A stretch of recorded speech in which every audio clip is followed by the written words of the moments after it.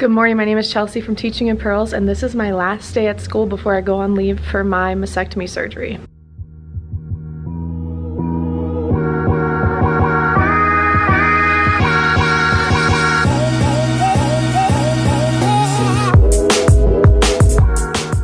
So I'm probably not going to vlog today because hopefully the teacher who is subbing for me, so we have three building subs. So luckily the person who's subbing for me, I'm very familiar with. She's also a retired teacher from our building. So I worked with her as a coworker and I mean, she's still a coworker, but now she's a sub coworker, whatever. Anyways, she's amazing.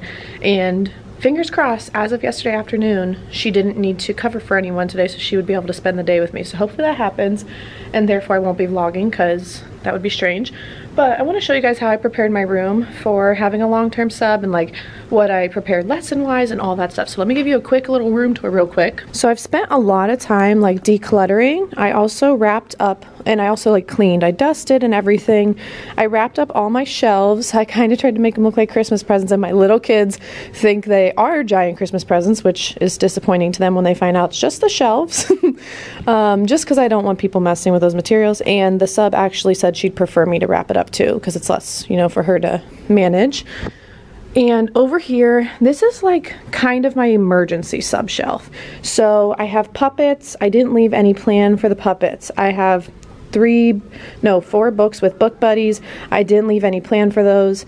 I have nine material things. They have like colored pencils, crayons, scissors, stuff like that.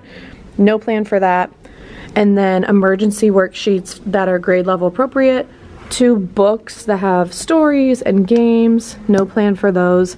And then rhythm sticks are in my lesson plans and these piano songs are in my lesson plans. These are the medium and hard songs that I chose for my students. The medium ones I'm considering medium because they use the black keys. The hard ones I'm considering hard because they have to actually read the lines and spaces.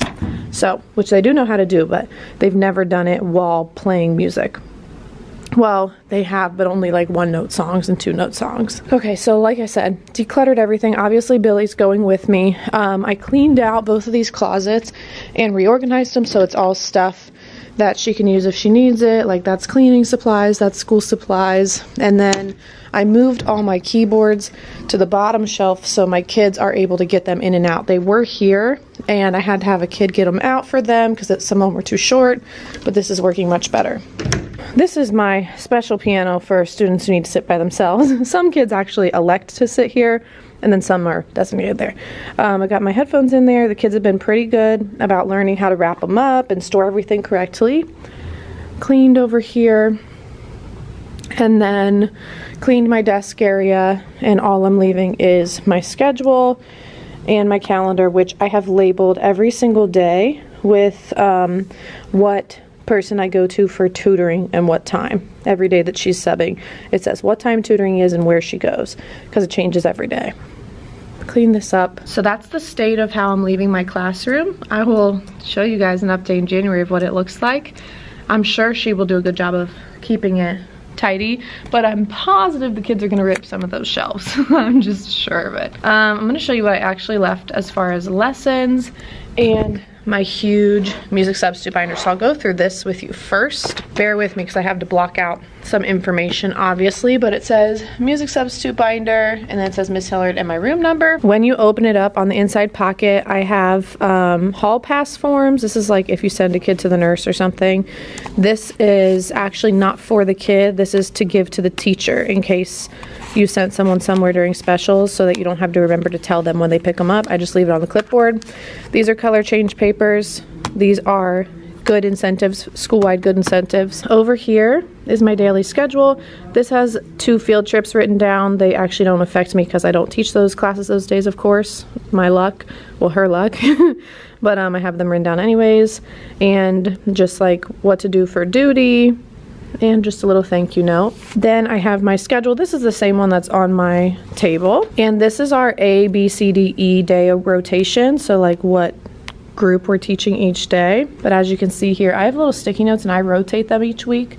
So I know which day is each week. So she can do that if she'd like, but she doesn't have to. And then here is my lesson plan format idea. I don't care really what she does, honestly, as long as the kids are entertained and doing something kind of musical. So I left a bunch of stuff, but this is what I would prefer, which is the first week and a half to continue with the keyboard unit for second through sixth grade, and then start my Quaver lessons with K to one. Um, then the next week, finish the keyboard unit with four through six, start my Quaver lessons with second to third, or if they're really still in, interested, finish the keyboard, but I think they'll be over it by then. And then K to 1 Quaver lesson on rhythm sticks. The first week is the lesson on scarves. I'll show you that as well. Then the last week, watch the holiday concert recordings or do a Quaver lesson. Honestly, most kids are going to want to watch the old concerts because they're in them and they love seeing themselves. So I have information about accessing my ClearTouch board because she'll want to use that for all the Quaver lessons and for some resources for the piano keyboard lesson too. And activities lesson I said below is the login information for pre-made interactive Quaver music lessons. It's on the next page, which I'm not going to show you obviously because I don't want you to log in my Quaver. But I said I'll also leave YouTube video options and printed materials as an alternative option. The printed materials were in those drawers. Printed worksheets are that's not true, but whatever. She'll figure that. I'll tell her that verbally. So anyways, the clipboards are here, the pencils are there, whatever. So here's my Quaver um, login information. It just tells her how to log in, how to find the lessons. I'll walk you through that. And then here's a link or a list of YouTube videos that I don't mind her showing them if she wants to just show a YouTube video. Here are the instructions for my keyboard unit. Have students go to their assigned seats. Do not pass out any materials so they are calm. That's very important for grades three to six, um, I'll explain to her that she doesn't need to do this anymore because the little kids can all reach their instruments now. It's important that students hold the boxes with two hands so that the keyboards do not fall out. They know this, but they often need reminders. Call students individually or in small groups, like by the colors of their circles, to go get their headphones and their keyboard. Keyboard should be placed on top of the box and headphones remain plugged in. Students will work their way through a series of keyboard songs. I have labeled them easy, medium, and hard. The easy ones are up there on my sink. The kids know, they've been going to them already. Um, the students should work mostly individually, but some will probably need help. Some will probably need to help the others since I'm not there to help. If she's able to observe me today, I am going to teach her the same thing I teach them, which is D's in the doghouse and how to find the keys after that. But she might know that. I don't know what her skills are with the piano, if any. Start having them pack up about 10 minutes early. Batteries and tape are in the drawers next to my sink. And then this is just my emergency procedures, fire drill, lockdown drill. Here's miscellaneous information. Crisscross applesauce hands in your lap and H-E-L-L-O are attention getters I use for K to 4. If students need to use the bathroom, they can go the one, I just told her which one. There are no food or drinks, including water, because I don't want them spilling it on my carpet, allowed in the music room, with an exception to some sixth graders who need to eat their school breakfast. I have them sit at that table. Um, if they bring, if kids bring water bottles to class, they need to stay on a table or a counter the entire class period. Second graders will bring their coats and lunch boxes because it co- like backs up to their lunch. I have them pile them up on the table near my entrance, and then in the last few minutes of class, I lay them out on the floor so they can grab them and go. The specials team meets in my room. um, if a new student is added to a class, feel free to assign them a seat. On Friday, the strings teacher's here. The kids will come in. They should not interrupt your class, but they do need to grab their instruments from the closet. And then this is like impossible to show you because of student names, but I can show you like this reflection of this one. You can kind of see without being able to read anything.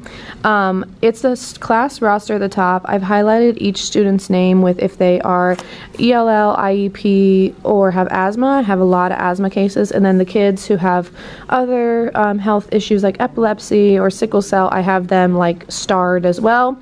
Then I have their seating chart and yeah, so it's seating chart at the bottom, attendance list at the top. Then I have a map of the school and these are extra copies of worksheets. So that's everything in the sub binder. I personally think it's very comprehensive. Um, but here is the Quaver stuff I put together. The keyboard unit my kids are doing is very independent. They're like very self-sufficient on it now because we've been doing it for like two, three weeks in most classes. So they know what to do. But for Quaver, oh, sorry, I told you I was going to show you guys a step. Okay, so Quaver, you log in, you click My Custom Lessons, and then I archived everything else I've used on Quaver because I have a lot of folders, just so it wasn't hard to find this subplan folder.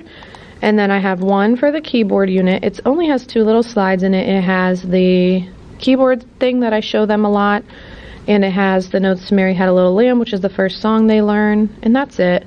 She doesn't really have to show that to them, but the kids are used to seeing it, so it's there. All right, I am being observed today by the teacher who's going to be in here, but I have a quick second to show you what I created for in Quaver. I made one page for the keyboard unit, and it's this one that's up.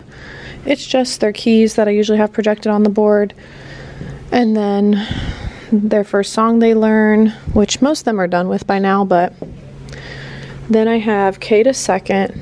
I put together scarf lesson and then a rhythm stick lesson. Whoops, whoops, whoops, whoops. Didn't want to move that. And then link to the holiday concert recordings and some dance videos. Third through sixth, they will probably just do keyboards, but in case they get sick of keyboards, I have rhythm stick activities, instrument stuff, um, and then I'm putting in Boomwhacker videos as well, and their holiday concert recording. So that's everything. Well, that's it. I'm all done. I had my sub in here all day. That was really helpful. Um, it was awesome. She was like stepping in and doing things to kind of practice. We got her all signed technology. It was great. Um, and I'm out of here for surgery. I'm not excited, but I'm just like, so obviously like nobody's gonna be excited to get amputated, which is what my surgery technically is, but I'm so happy because I'm so relieved that this part is done because this was so much work and so much stress to prepare everything for a sub for four weeks in a class where I'm 100% in front of my students all the time putting on a show essentially seven hours a day. So it's done wish my sub luck. And I hope you enjoyed this. Hopefully it was helpful if you're ever preparing for a long-term sub. Let me know if you have any questions about what I talked about because I know I went through it all kind of fast this morning. Um, and I will have access to most of it at home. So if you want more details about anything, just leave a comment and I'll try to get back to you or do a follow-up video or something. I'll also definitely follow up with this in January and let you know how it went, like how the kids did with the sub, if there's anything I would have changed, stuff like that. But I will see you in my mastectomy vlogs next. So hope you're having a fabulous day wherever you are.